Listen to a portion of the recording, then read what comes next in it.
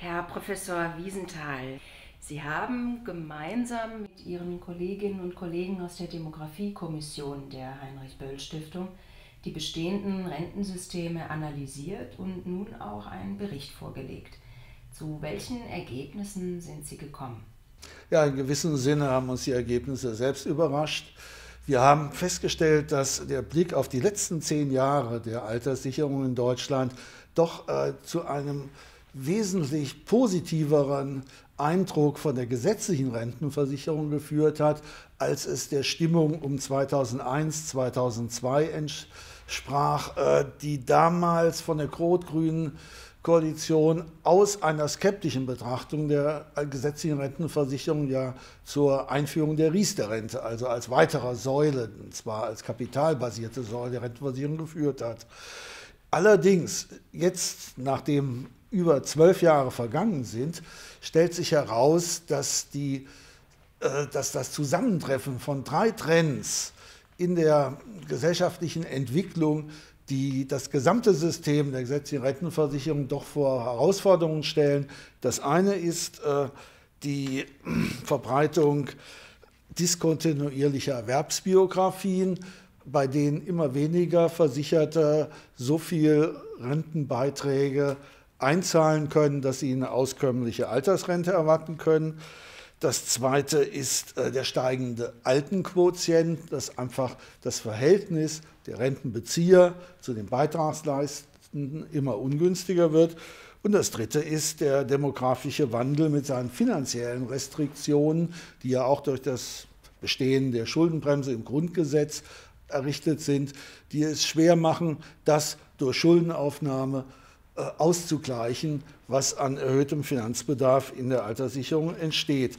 Daraus, äh, nicht zuletzt aus diesen Gründen, ist ja die Bundesregierung Ende 2011 in Gestalt von der Arbeitsministerin von der Leyen auf die Idee gekommen, eine Zuschussrente einzuführen, vorzuschlagen für diejenigen, deren niedrige Rente nicht mehr das Grundsicherungsniveau erreicht.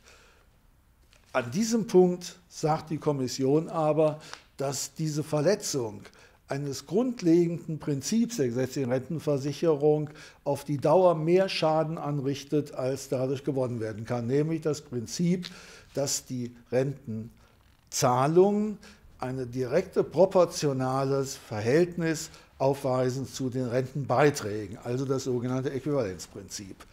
Wir wollen, dass die Inanspruchnahme der Grundsicherung im Alter als Bürgerrecht, als selbstverständliches Bürgerrecht gestärkt wird. Wir wollen dafür die Position der Antragsteller stärken durch bessere Informationen, durch Beratungsleistungen, durch Ombudsleute und auch durch, äh, durch moderne Formen der bürgernahen Verwaltungsmodernisierung sowie auch der aufsuchenden Sozialarbeit, was heißt, dass man nicht buchstäblich alleine ins Amt gehen muss, um sein Recht zu erhalten.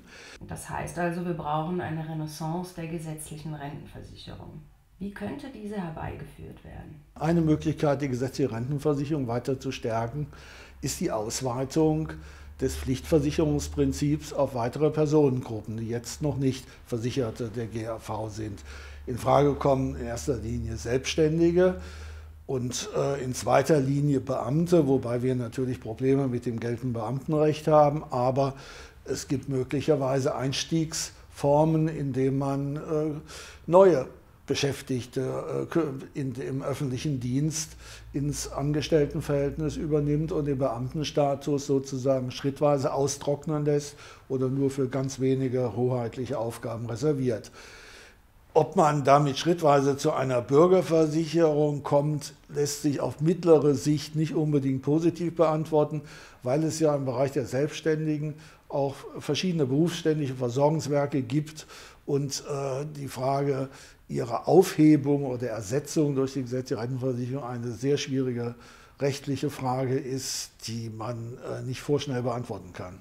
Welche weiteren Weichenstellungen sind erforderlich, um eine sichere und faire Altersversorgung für alle zu gewährleisten? Wir möchten, dass die drei Säulen, also die gesetzliche, die betriebliche Altersvorsorge und die Riester-Rente, in einem Verhältnis zueinander justiert werden, dass nicht die Entwicklung der einen Säule, zum Beispiel der Riester-Rente oder der betrieblichen Altersvorsorge, auf Kosten einer anderen, nämlich der gesetzlichen, verläuft. Wir wollen, dass äh, die Möglichkeit gegeben ist, gleichzeitig mit dem Rekurs auf zusätzliche Leistungen aus der Grundsicherung im Alter jeden Effekt von Stigmatisierung auszuschalten. Und wir wollen drittens, dass die zwei kapitalbasierten Säulen von ihren derzeitigen Problemen, die sie teilweise haben, also vor allem die Riester-Rente leidet unter mangelnder Markttransparenz, äh, mangelnder Mindest... Äh, Rendite und ähnlichen Problemen, dass sie davon bereinigt werden und es wirklich drei gleichberechtigte Säulen sind, die in ihrem Zusammenwirken dann den Alterssicherungsschutz ergeben, aber nicht äh, dadurch, dass die einen auf Kosten der anderen weiterentwickelt werden.